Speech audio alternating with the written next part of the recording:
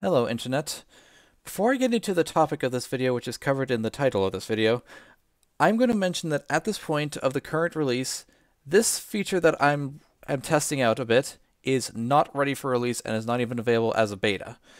There's a good reason for it, which will be covered later in this video.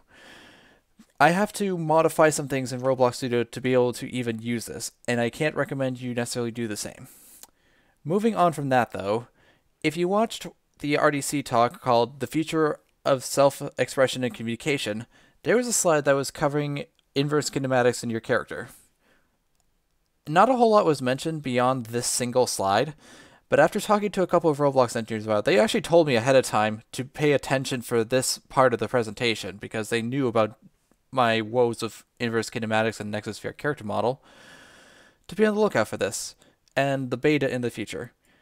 I wasn't really waiting to, to wait for the beta, so I decided to figure out if I could access this now, and the answer is yes. And from what I could tell on Twitter in the develop forum, I might be the first to be exploring this. But let's say you want to look at this new inverse kinematics thing. The first thing you need to do is modify some feature flags to enable it. Before I go into showing what feature flags to enable, I first should give a warning about feature flags. Feature flags should not really be touched unless you know what you're doing, and even if you know what you're doing, you risk data corruption or just an unstable version of Roblox Studio while you have them enabled. They are meant to be controlled by Roblox to control features, and if you're modifying them on your own end, you could be enabling or disabling some functionality that they don't expect to be enabled and is either not complete, unstable, corrupts data, or something along those lines. So I do not suggest doing it. In fact, this whole place file that I have for testing stuff could just become corrupted one day. You should only be doing this on A, a copy of your data, not your live version, and only if you're willing to risk either data being lost or just the work becoming irrelevant as things change. This is not a released feature and not even a beta feature. So, warning aside, I'm also using a version of Roblox that has just a convenient way to view feature flags, which is the flag editor.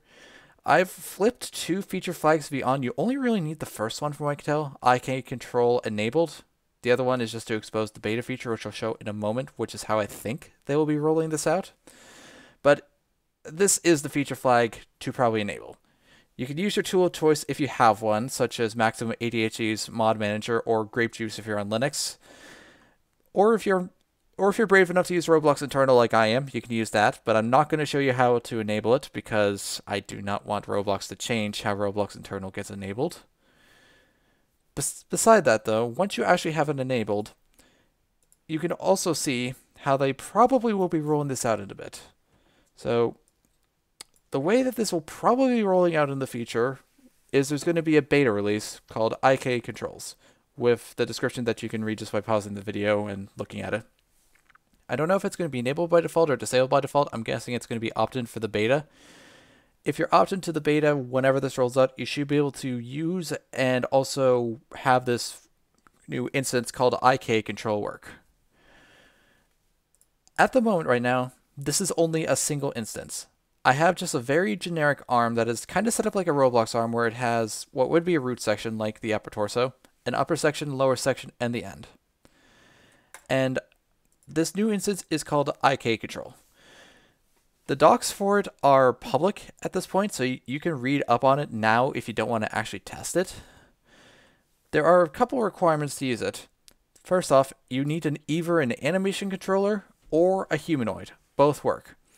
And I don't think the the docs say this, you also need the animator to exist. If it is missing, such as if you create an animation controller and a humanoid and you don't add this in, this will not work, and it will not give you any easy indicator to tell you that this is not working.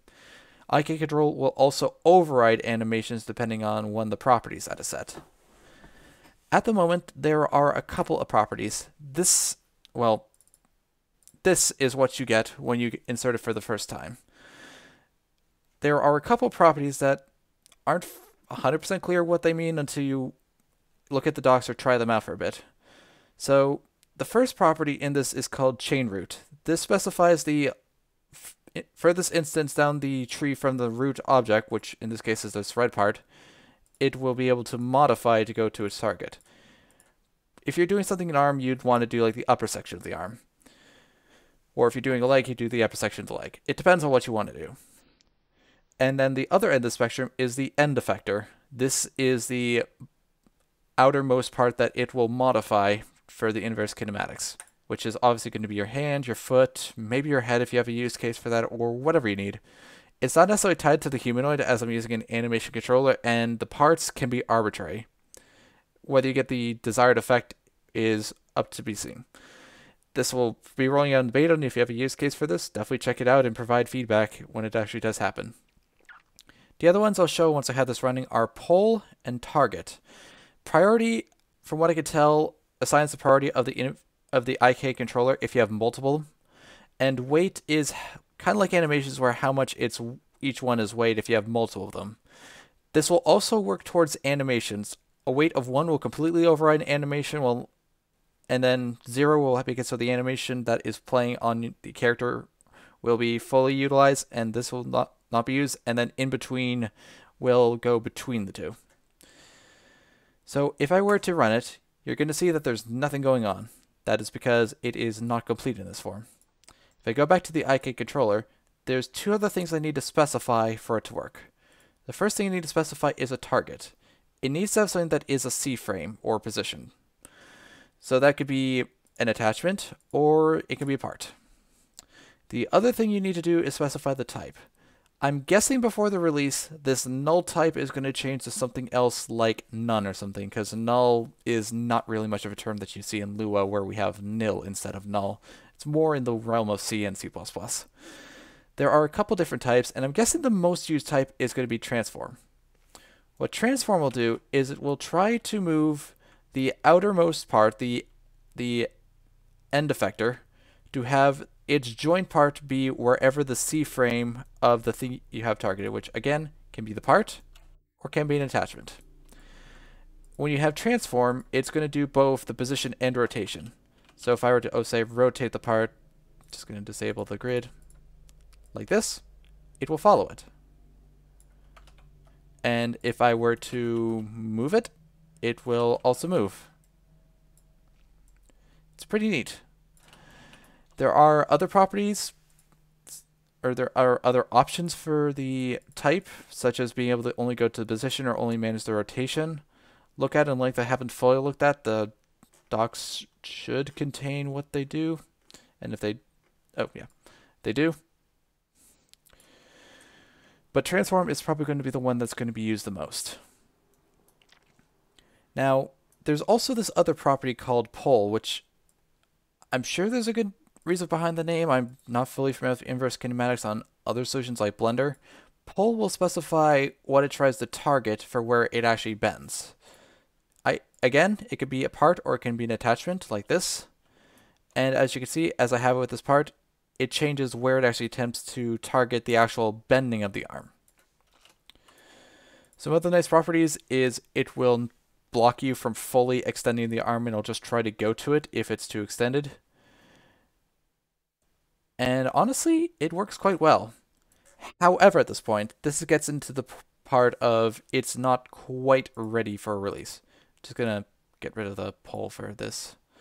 For those who are seeing what I post on Twitter, one of the flaws currently is what happens if you move around in world space, such as if you rotate this. When it's like this, it looks just fine. This is how I'd expect it to bend.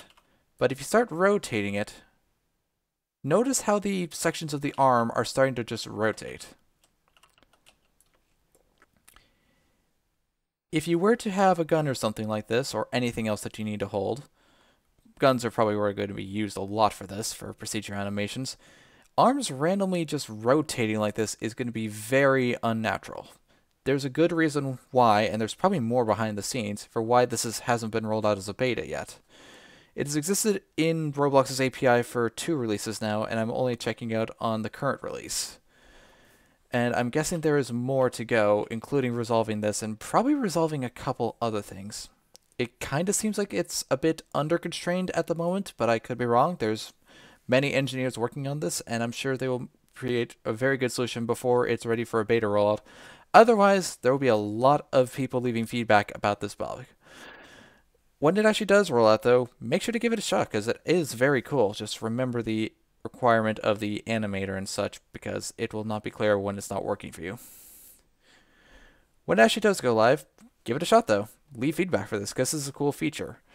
And for me, I have three projects that I'll be using it on.